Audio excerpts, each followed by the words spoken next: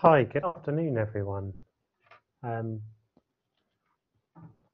I hope you can all hear me okay. Um, so yeah, so today is parts uh, three and four of uh, my little lecture series about C++ for doing HPC or numerical computing, however you want to put it. Um, so as ever, I'm uh, very happy to take any questions uh, as we go along. It's probably easiest if you type them in the chat window, which you should be able to see on Collaborate. Uh, you can also, there's a little button to raise your hand, which will make the uh, Collaborate beep at me. So I definitely notice you.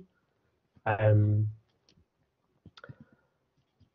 and yeah, well, um, thanks very much for joining me sitting on your computer on a beautiful sunny afternoon when you probably wish you were sitting in the park or something. Um, yeah, so before I get going, are there any sort of uh, questions uh, from the first half of this? Um,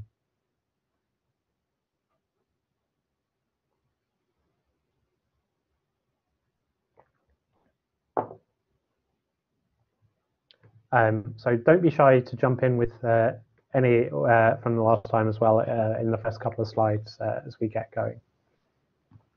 So um, see, yeah. so a recap. So um, one thing that a couple of uh, people mentioned in passing was the iterators, just to go over it again a bit. So um, if we have some vector of data that we've got from some source, um,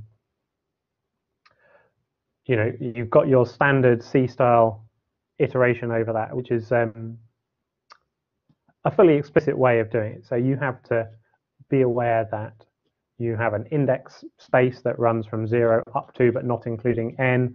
You explicitly deal with that. And, uh, you know, obviously after a bit of experience of programming, this is just totally transparent to you what it's trying to do. Um, but you do have to be fully explicit about what's going on. Uh, in the middle is the sort of traditional uh, C++ style of doing things, which hides some of the details. You don't have to deal with the explicit iteration. You can treat the iterator as a pointer to the current bit of data, um, but it's still quite verbose, uh, even though the the new auto um, type deduction does make it less onerous to type. Uh, and then at the bottom, you've got the newer um, range-based for loop that C++11 has introduced. And that um, that hides a lot of the details from you while still giving um, performance exactly as good as the C style iteration at the top. And um, a few more details about how templates work and uh, the ways you might want to use them. So um, from the, the first part of two weeks ago, um, we had a very simple example with the, uh, the sum template function that just adds two numbers of types that will be uh, deduced at compile time. Um, so we use this uh, without specifying explicitly what type t was. So if we say x and y are both integers, and then we call the sum template function, passing those in, the compiler is doing uh, what's called template argument deduction for us.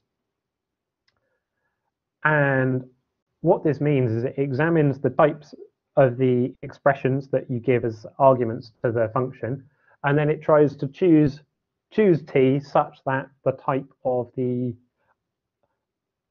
uh, the expressions given to it and the expected type from the function signature match, or at least are implicitly convertible to each other.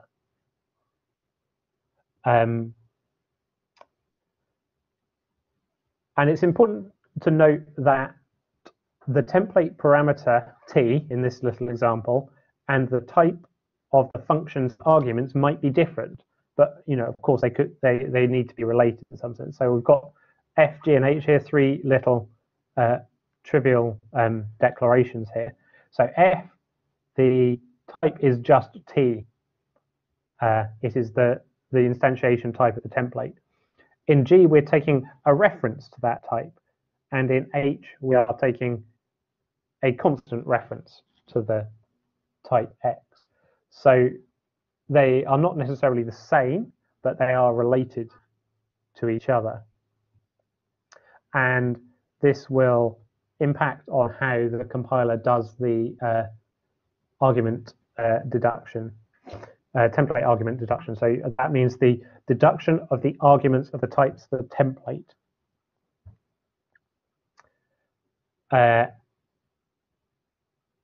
and this means that, for example, if you were to pass a const int to h, it would deduce t to be uh, an integer because that's implicitly convertible.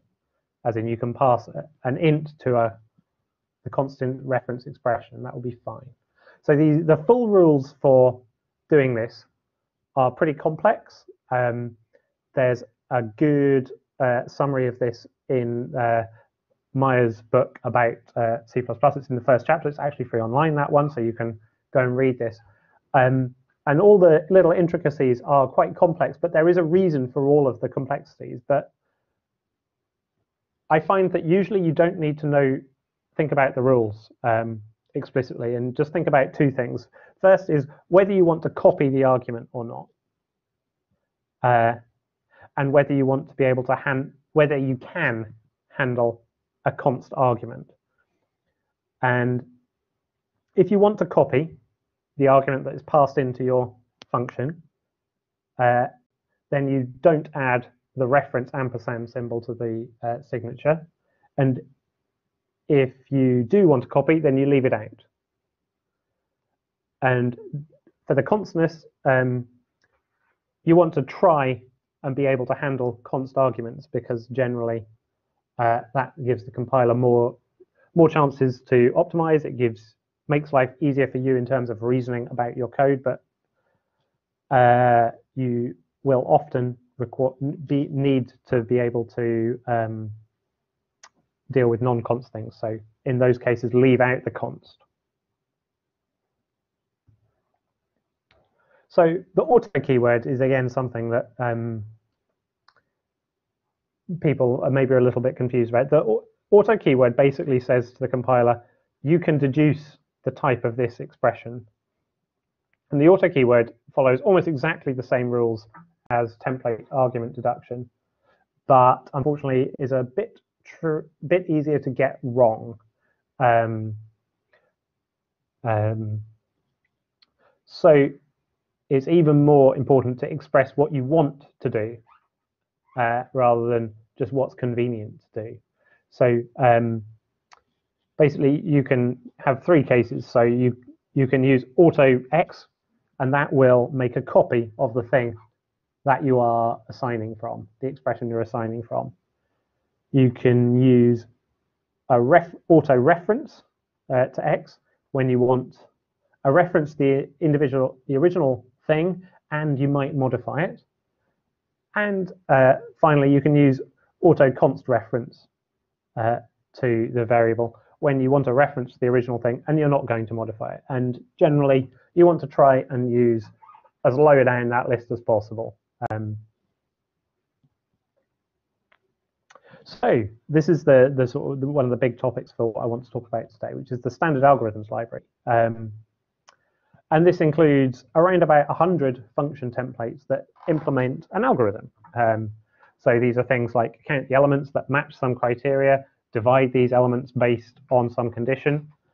Uh, and in the current uh, versions of the standard, these all use iterators to specify the range of data that they're going to work on. So for example, uh, if you want to use count, you might use um, a standard vectors begin and end iterators. So this little example uh, here, so we want to count uh, the number of zeros in some vector of integers. We, we call standard count using the full range of our um, data vector and the uh, the thing we want to match against is there as the final third argument and that is just uh, the same type as the uh, element, the, the value type of the um, standard vector. And that will just return the number of those for you.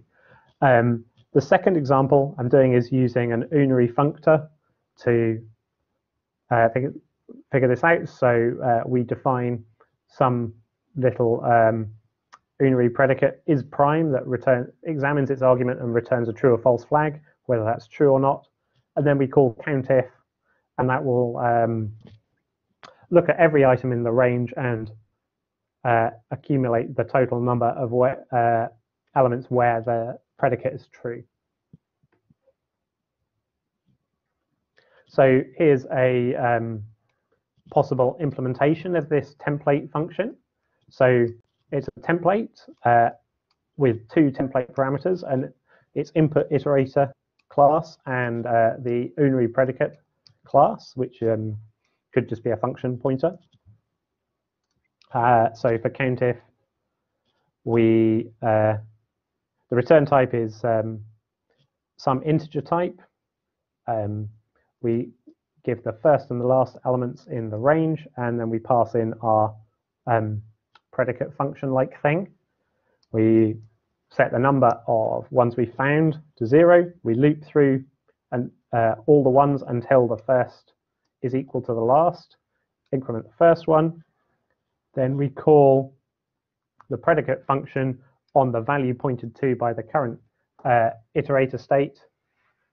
And if we uh, get a true for that, we increment our count of uh, elements. And then once we've looped through everything that's there, we return our current count. So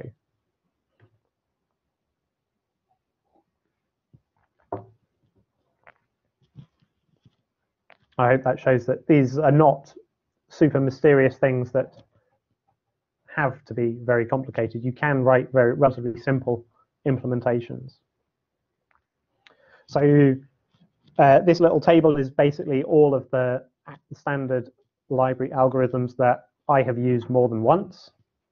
Um, so um, for each, which is just apply some function to every element in the range, count and countif, so it returns the number of matches, find and findif return uh, pointer or it iterators to the first element that matches or the end if there isn't one. Copy and copyif, so it copies um, the input range to some destination uh, if the predicate's true in the latter case. Transform um, is basically apply the function uh, to some elements uh, element range and store the answer in a destination.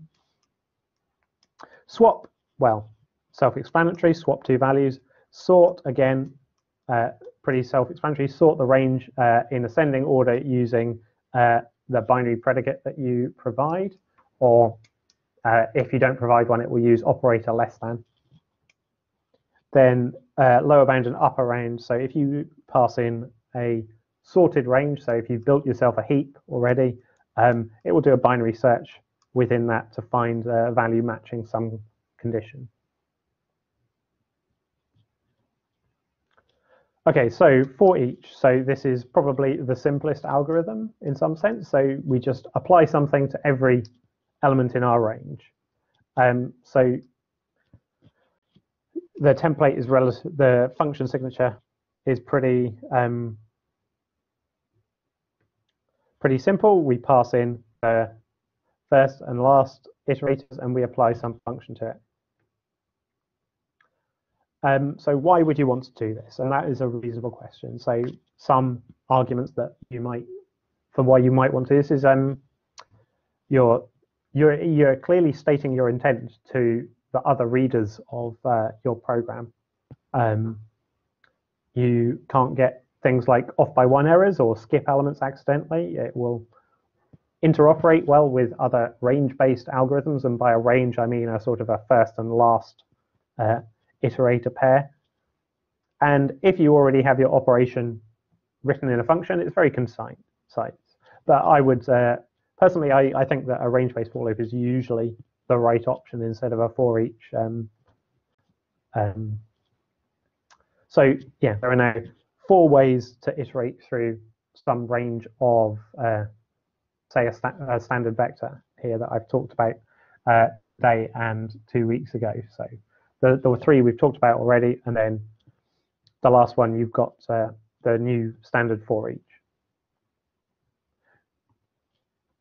So transform is um, another one. This is a very powerful function, and it's basically the equivalent of the sort of map concept if you're a functional programmer.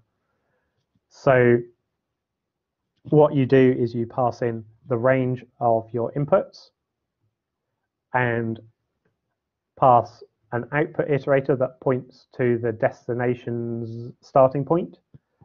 And then you have some unary operation, uh, transformation operation that you want to apply to every element in the input range and store in the output.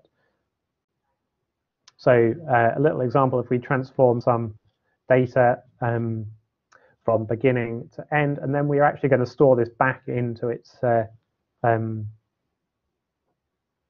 input destination. So we're calling this double in place functor that I meant uh, was on the previous slide also. So for the rest of that table, I suggest just having a little look at the documentations online. The cppreference.com is very thorough.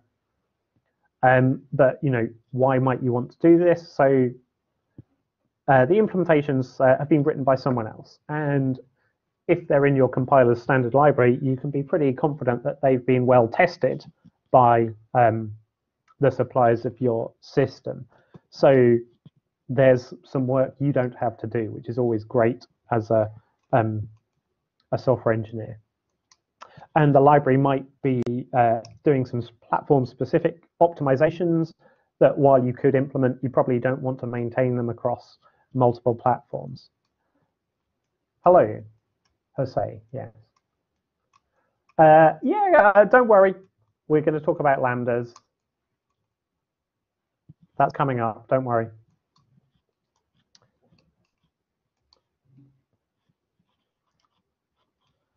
Uh, yeah, so the uh, one one reason is um, that I find them useful is that they form a, a, language to communicate with other people, and this isn't just other people; it also includes yourself in the future. Um, and they express the intent of what you want to do, um, which is obviously an important thing. So, what's going on in that first code fragment has to be read in detail uh, whereas the second example, um, you know, is a bit easier to understand at a glance what's going on. It's copying uh, from the images thing into uh, the cat pics thing if it contains cat. And you can read this um, much, much more quickly than the first one. There you go, Jose. So um, all of these algorithms that we I've just talked about, they um, they they need you to provide a function or a function-like object as an argument, uh, which is going to actually implement the behavior that they need. So having to declare a new function for one-off use in an algorithm call um, is quite inconvenient. It moves the code away from its use site, which is uh, confusing and adds the maintenance burdens. Uh, and worse, you might even need to create a custom functor object every time that's going to have its own members, and you've got to think about um, how you're going to construct this and uh, so on. So for example, if we wanted to square some input number and add a constant to it, so we want to do um, z squared plus c, for example, uh, if we wanted to implement that uh, in a sort of um, well parameterized uh, way, we might end up writing some functor type class here, square and add const functor, that's going to have a member variable, the constant. It's going to need a constructor, which uh, wherein you tell it that constant, and it's going to need an operator parentheses, which is the function call operator overload in C++. And this needs to accept one argument and give back another one. And then we actually encode something, some meaningful information there in that line. And then where we use it, um, we need to say uh, if we're going to go store our answer in some vector and accept some input vector as well as the constant, we um, we need to construct it and pass it into transform and then return the answer after that's run. So uh, we C++11 has introduced uh, uh, a concept to C++ of a lambda function, also known as a closure or an anonymous function. And this is a function-like thing that does not have a name, uh, like the functions we've always used uh, in C and C++ so far. You can define one uh, wherever you like inside a function or not, and you can bind them to a variable and call them and pass them around just like uh, any other value.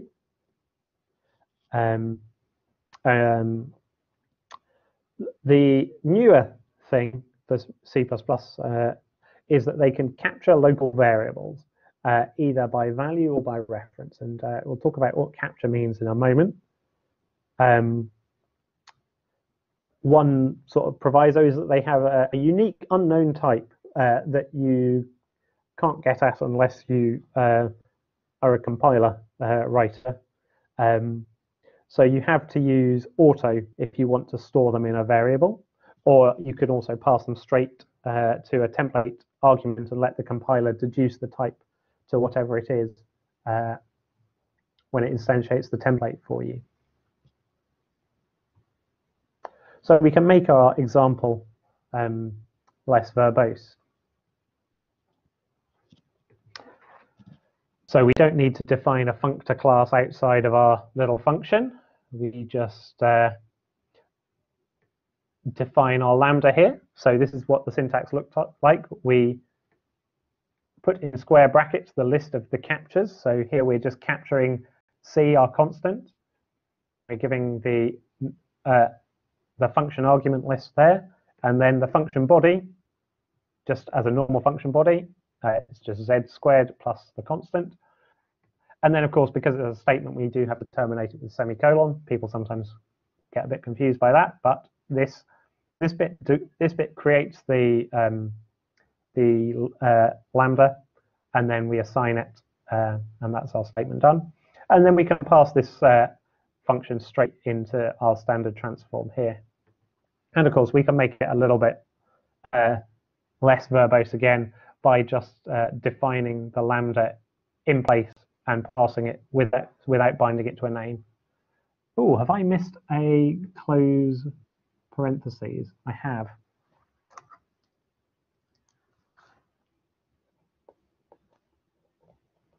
Sorry, just jotting that down so I can fix that.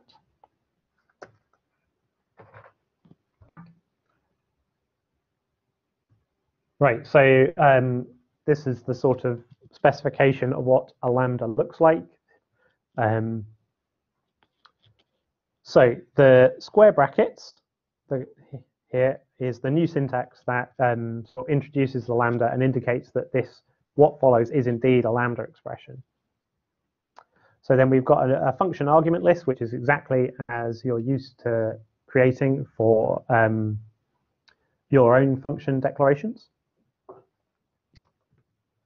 then uh, the function body is again exactly as you're used to. That's just uh, the normal function body, so zero or more statements like you might have in any function. Um, there's no restrictions on what you can put inside it in terms of the usual uh, constructs. Anything you can stick inside a normal function you can put there. So this um, arrow return type here uh, is the new C++ style syntax for specifying the return type of a function. You can in fact do this for any uh, function that you declare as long as you put auto first as the return type. This basically just is a placeholder indicating it's indeed a function and then the um, return type will be specified later. But you have to put it afterwards for a lambda. Uh, this tells the compiler what type is going to be returned, um, but you can skip it if the return type is void or the function body is only a single return statement, at least in the C++ 11. When you move to C++ 17, you can uh, let the compiler deduce it for you based on the return statement inside your function body. Um, and then finally, we'll go back to the first thing, the captures. So this is a, a list of the uh, captures that are made by the Lambda. So you can capture a value by copy. So you can just put its name there. So if you have a local variable called local, you just write its name there and its value will be stored by copy inside the lambda that is produced by this statement. Or you can capture it by reference. So if you just put an ampersand before its name, it will be captured uh, as a um, as if it was a reference member of a, a struct or something uh, inside the function body.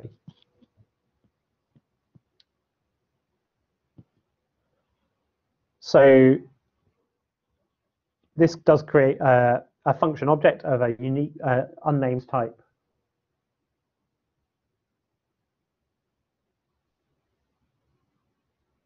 Oh, is asking a question. So what's the difference between passing an argument in the arg list and capturing it in the uh, the square bracket?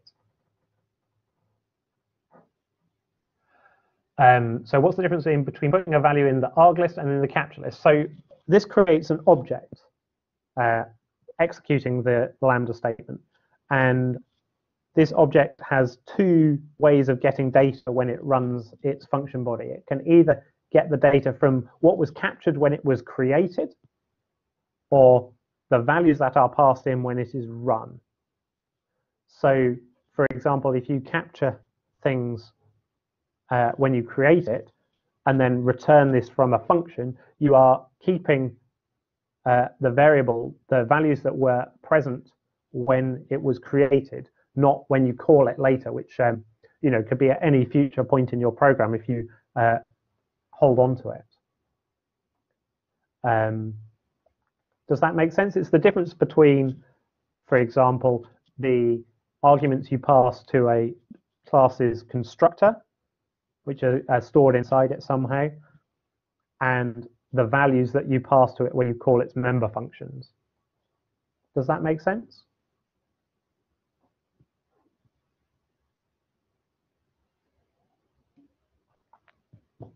Okay. Okay, so yeah, like I said before, this creates a, a unique type that uh, you can't get at the name of. So if you want to store the lambda that is created, you have to use auto to um, declare the variable. And then you can call it um, uh, the lambda like you would any object that has an overload of operator parentheses, the function call um, over uh, operator. So So, for example, if we go back to the um, the squaring and add a constant one here, and uh, if we were to create it with our constant, whatever c is, uh, and then call it with the argument 3, we would print the value of 9, 3 squared, plus whatever the constant was. Okay, and it's also important to note that because uh, it, it, doesn't have a name of its own. Uh, it can't take place, uh, can't take part in any overload resolution. So you can't, for example, assign, go auto uh, some function name that's got a load of overloads already equals a lambda and have the lambda take part because the function itself does not have a name. You have just bound it to a variable with the same name, if that makes sense. Okay, so a very, very brief quiz. What does this uh, following uh, set of line noise do? Could anyone take a guess?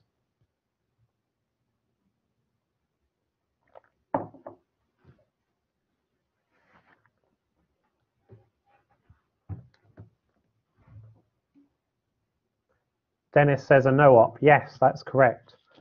So what this is doing is this is introducing a lambda that captures nothing. It takes no arguments. It has no state no uh, statements, and then we're calling it. So it is indeed a complete nothing. Um, okay, so again, why why do you want to? So um, using it with the standard algorithms library or any other library that you might want to write that uh, uh, needs to be given some functions to do its work. Uh, so they're great for passing in uh, sort of little one-off pieces of code. So for example, if you need to sort some uh, list of molecules and you want to sort them by their charge uh, member, you can quite easily create one in line uh, that just takes two molecules and compares the charges with operator less. And you're done. The, the library will take care of doing the sort for you.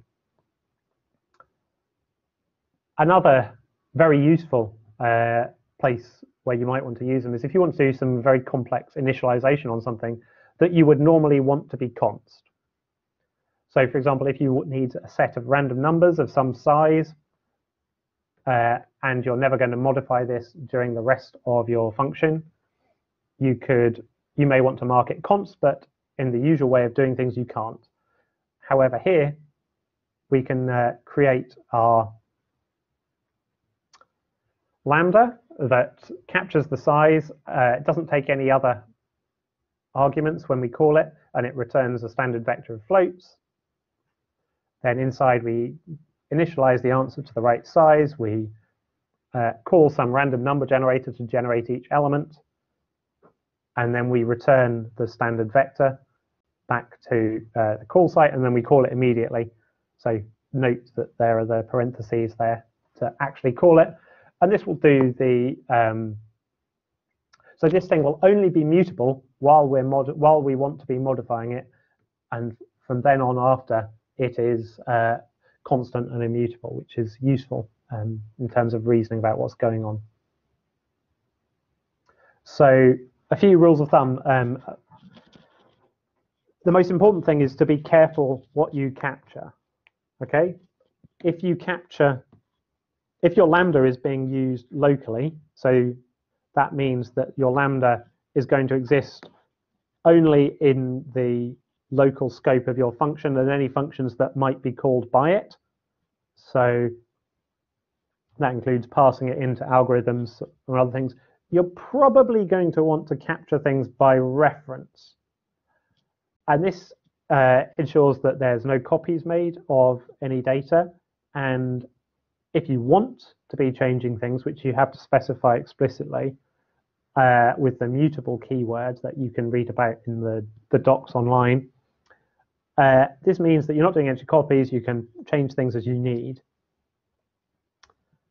But if you are using the Lambda elsewhere in your code, um, really, especially if you return it from your current function or you're assigning it uh, into some other object that's going to outlive your local scope, you probably want to be capturing by value. Um, so remember, references to locals any local variables you've got are invalid after the function uh, has returned. So your lambda might be holding on to a reference to something that has been destroyed. Uh, and that could cause undefined behavior, most likely either garbage results or uh, a segmentation fault. So um, even if they are still valid, it's much harder to keep track of what's going on in your program. So that's generally something you don't want to do. And um, the last one is possibly a bit more controversial and more just what I think. Um, is keep try and keep your lambdas short. Anything more than say 10 lines, you should probably be moving it into its own function with a name and a short documentation string. Uh, if it's more complex, into a little function-like object. Um,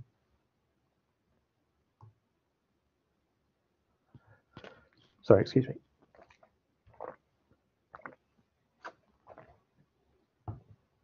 Okay, so traits. Um, so I'll sort of explain what these mean as we go through. So type traits are a very important generic programming technique that's used uh, across the whole of the standard library in C++.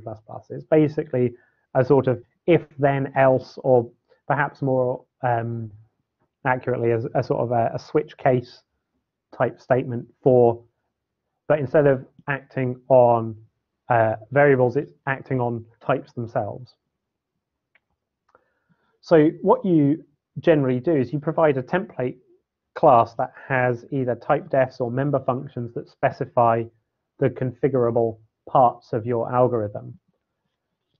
And then your generic algorithm uses this class specialized on the type that it's currently working on to select the behavior that's going to happen.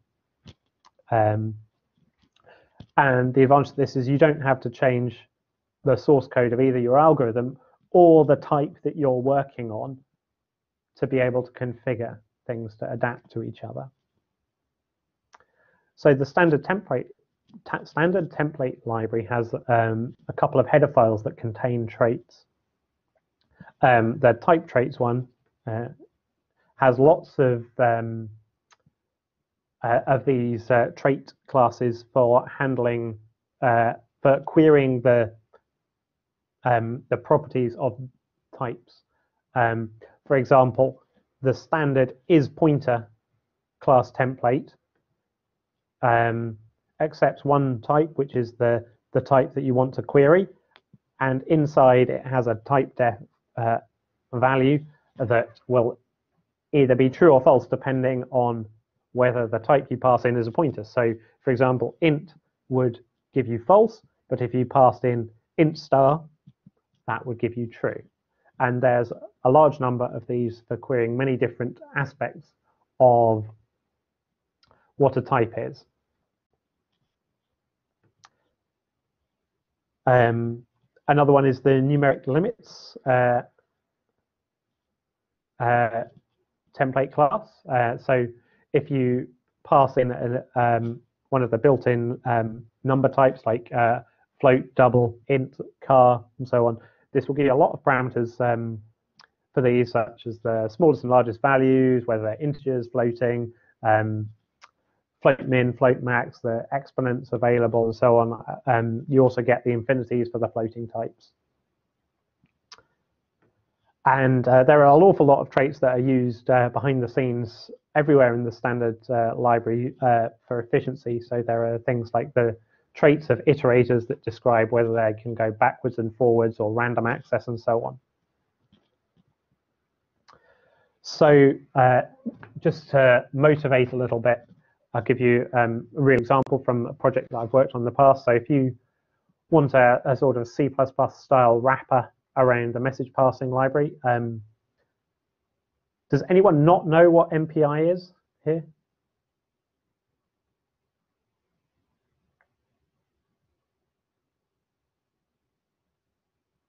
Okay, I'm going to assume you know what MPI is at least roughly.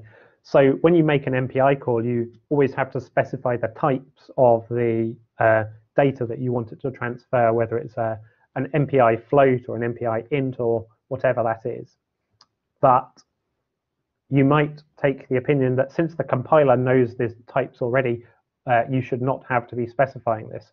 So you may want to have an interface that looks like this. So you have some communicator class that you uh, whatever. And this has a template function that's going to accept a vector of a standard vector of some data that it's not going to modify. And you just want to say, send it to this destination rank and give it this tag. Uh, and you want to be able to use it uh, something like this. You get your communicator from somewhere, say it's MPI com world from whatever the interface looks like. You create some data and you just want to go send the data to whatever other rank it is, okay, and have the um, the library know the type and the size of your vector. Since it's got all this already, why should you have to re-specify it? So you might have your very simple implementation look like this. So you've got your communicator send member function. It takes the, the data, the destination, and a tag. And you call MPI send, you cast the data to a void pointer, you pass in the size, that's nice and easy. Um, you've got to put something for the data type. So the question is, how do you fill in that data type here?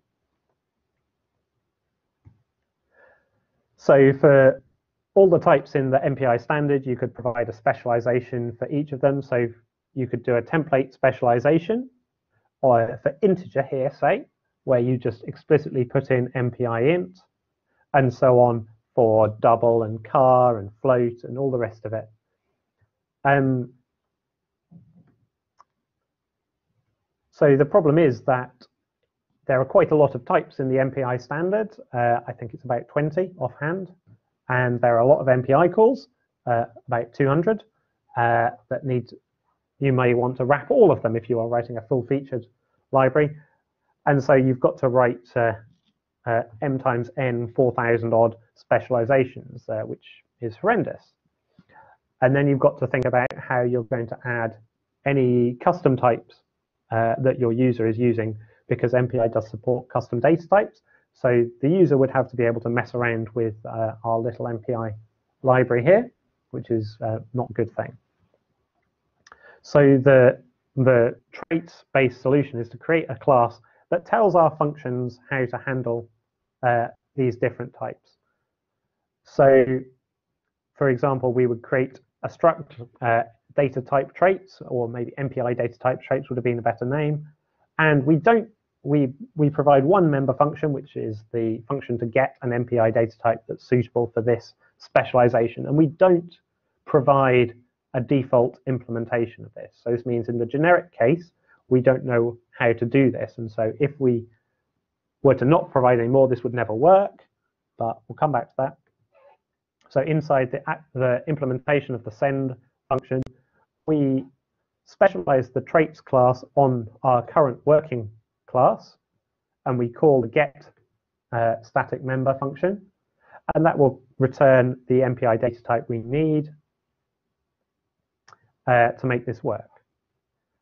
And what we've got to do is provide these specialized uh, definitions for all the types that we know how to handle. So we could specialize this for an integer and a float and so on for all the other types we know about in the standard and any in our application, we could specialize it for whatever special types. For example, if we go back to molecular dynamics and we've got a molecule type, we could specialize it for that.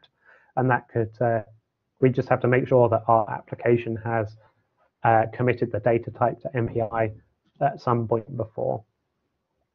And then if we try to call this uh, send member function on the data type that we haven't specialized for, we'll get a compile time error saying uh, that there's no existing specialization for this. And so we'll, we'll, we'll be, uh, it will be flagged at compile time that we haven't done this, which is quite efficient. Um, why isn't this going to the next one? Oh, and yeah, so uh, there's plenty of documentation and examples of how to do this online. Uh, just a quick Google for C++ type traits will throw up lots of examples of uh, people using this.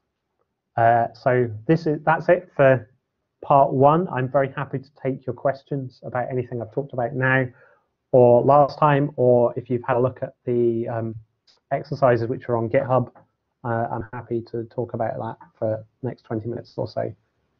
But thanks very much for your attention questions?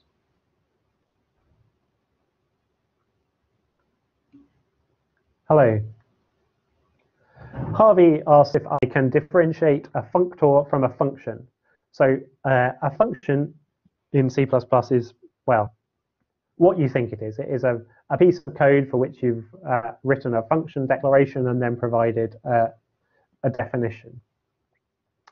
Uh, whereas a functor is an object which has an overload for operator parentheses, uh, which I'll just, so you've got your, um, it's any struct for which you've defined an overload for operator whatever, and then uh, whatever args it takes and a body, if that makes sense.